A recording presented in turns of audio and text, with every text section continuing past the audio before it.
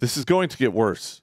Yeah. Mainly because uh, we have so many people being raised by single mothers. They don't really have any semblance of control. Uh, over, was it 60% of the uh, youth who are female today are on some type of head med.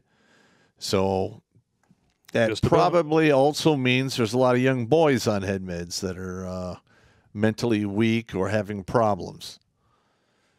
And I mean, you're going to probably see copycats like this for a while. And it needs to stop. Yeah. I don't know, man. That's exactly what we're really seeing because the media has gone out of their way to try to turn the perpetrator of this tragedy into a martyr. Yeah, they're already like upset because some people are misgendering him, her, it thing. I, Well, the funny thing is, is that the person who misgendered Audrey Hale the most was Audrey Hale. Mhm. The text messages that were sent right before she decided to go in and do this were signed Audrey. Her own LinkedIn profile with he, him pronouns said Audrey Hale. Mm. So if you're going to get pissed off about dead naming a dead person, well, first of all, dead naming really a little is brain dead up here, man. listen, it is so stupid. Uh, I, you know, I have it just warps my fucking brain thinking that if somebody's born a woman and you call them a woman because that's what they were born as, they get all offended. Yeah.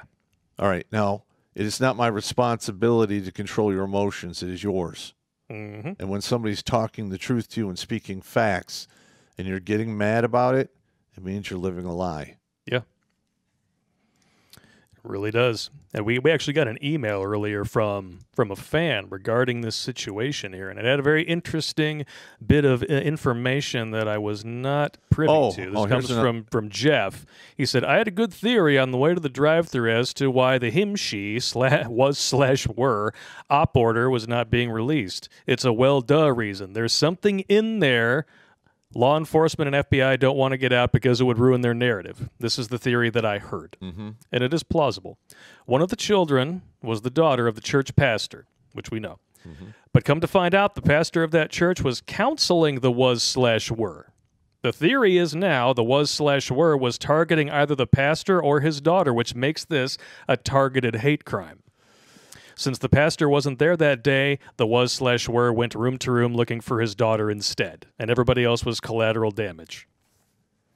Yep. It's it's very likely because from what I understand, her parents were not all about this lifestyle. I'm actually trying to get my hand on this mono- hands on this manifesto. yes. I'm trying to pull in the Greenberry Express and see if I can get a PDF. Well, copy. just the fact that they refer to it as a manifesto points to this as being an act of domestic terrorism. Yeah, yeah. But yeah, I mean, first of all, manifesto is more like uh, like an explanation of why you're doing what you're doing, slash probably an op order because there's a lot of tactical shit. There's a lot of tactical stuff in there, I would imagine, because apparently she did recon several other places and decided that school was best uh, because it wasn't guarded. Yep. Just amazing here that like the, uh, this article that MSNBC put out or NBC whatever it is. I don't really care. They're all the same. Within 10 minutes of police saying that the suspect was Transformer, the hashtag slash hashtag trans terrorism trended on Twitter. It's probably because it was an act of trans terrorism.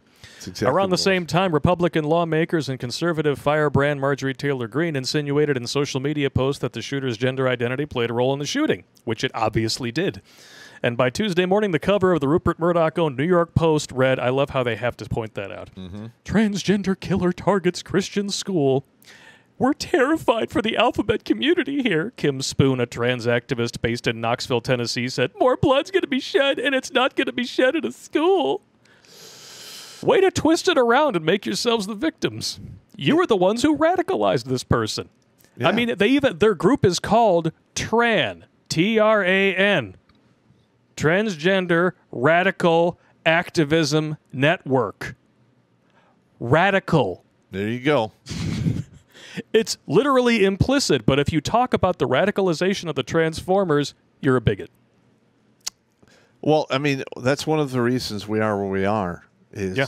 um, they've got they've gotten all these inroads into our culture because they have successfully silenced everyone with blame, shame, calling them istophobe idiots or what have you. Yeah. We need to get beyond that. It's the summer of love all over again. If you're speaking the truth, you're speaking the truth. Yeah. And and if they get mad about it, fuck them. I am so sick and tired of being gaslit. Like they honestly have become so th- th- th- their egos are just so huge and they become so sure of their dominion over public discourse and thought. They think they can edit the reality that you see with your own two eyes as it's happening. Yep. I wouldn't trust one of these motherfuckers if they told me the sky was blue. I would go out to check. All I can say is um, there's they're trying to run top cover for this, and you could tell. Oh, it's, it's- not really in the media like it should be. They're grasping at straws. Well, and I think that they they want it to go away because it doesn't fit their narrative of the, Oh, not at all. of the radical right getting violent. And of course, their narrative right now is "my guns." Mm-hmm. You don't care about children if you won't let us take away your guns, says the people who are trying to make martyrs out of a mass murderer That's exactly what they're trying to do. who literally killed more people in one shot than trans people were killed in all of 2021. Yeah. They've probably been doing a better job of that themselves. In fact, I know they are, and that was before the jab. Well, well, this whole thing, um, it's gonna be, it's going to become a self fulfilling prophecy. Yep. All right, because listen, they're not going to stop.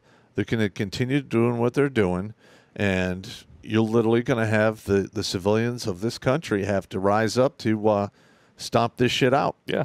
I mean, if this starts happening on the regular, it's it's only a matter of time before that happens. And Yeah. it- historically, that's how everything that's how it shakes Yeah. out.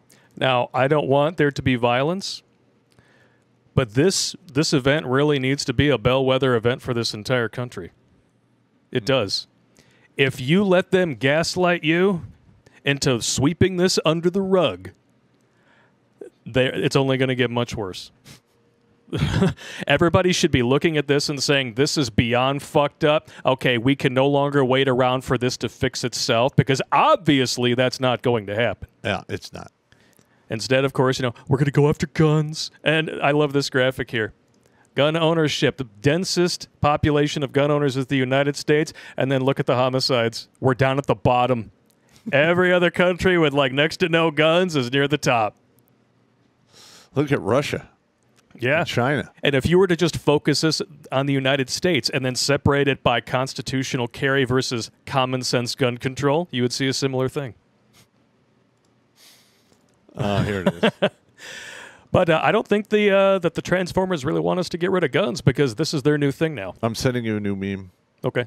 Uh, Here we go. It'll I love there in a this. Kill Christ cucks, behead Christ cucks, roundhouse kick a Christ cuck into the concrete, slam dunk a Christ cuck baby into the trash can, crucify filthy Christ cucks, defecate in a Christ cuck's food, launch Christ cucks into the sun. Hashtag Trans Day of Vengeance. you know the, the Uh, definition of vengeance implicitly implies violence. Yes, it does. But you, you look, take a good look at this picture. And now look at this one. What, what's different? Something looks very familiar. What's different? They got the masks on, most of them. Like, I know. I know. People are going to be like, "Well, you know, that's that's Islam. That's a religion. They, they're not religious. Or, or- or- they're a cult. they're a cult. Same which, thing. If you boil it down to its basic structure, the whole trans thing is because they believe they were born in the wrong body. That is a metaphysical argument. So I am saying that person and the ISIS photos are the same. Mm-hmm. And what were we saying about martyrdom? They're like, well, nobody's using that word. Well, Here it is. their name was Audrey Hale. They're a martyr against transphobia from a hateful Christian bigots like you genociding us. We will defend ourselves from you. Where's your God now? Pray for mercy because we won't show any. Now, don't get me wrong. Where- If there was actually genocide going on, then you know defending People yourself would stand up to it.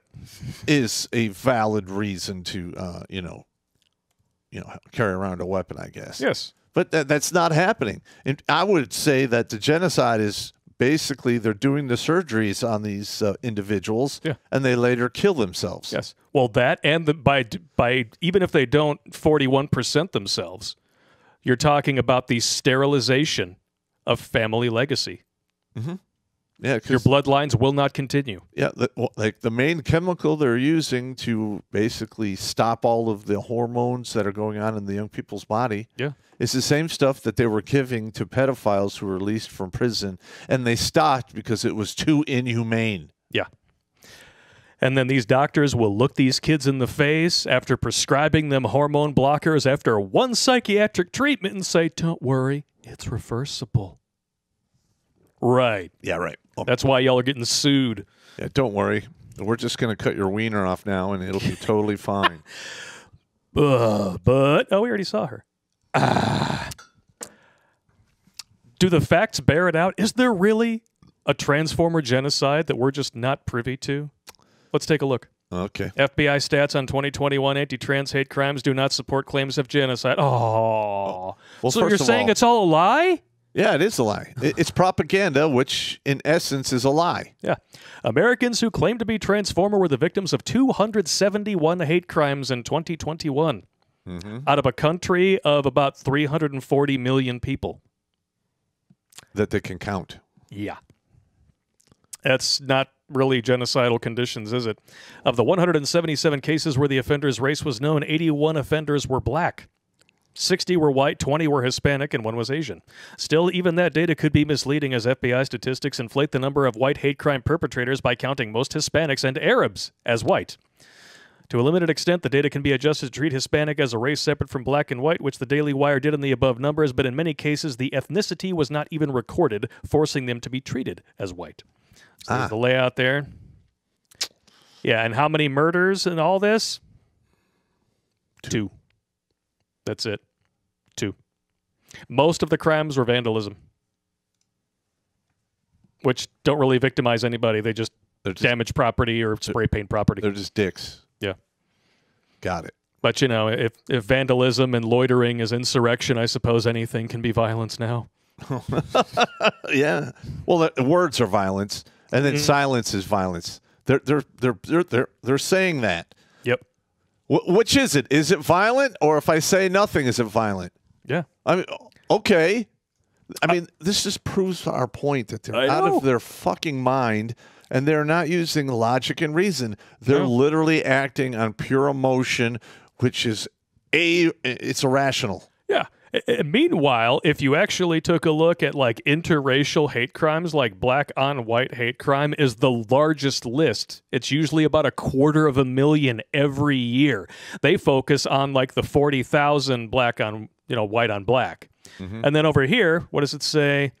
There are 869 victims of anti Jewish hate crimes, by far the largest example of religious bigotry. Mm-hmm. Vastly outnumbers the Transformers crimes.